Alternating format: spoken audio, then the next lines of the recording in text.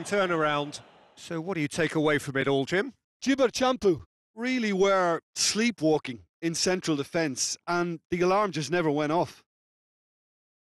And with that, it's time for me to thank Jim Beglin and to wish you a very good evening.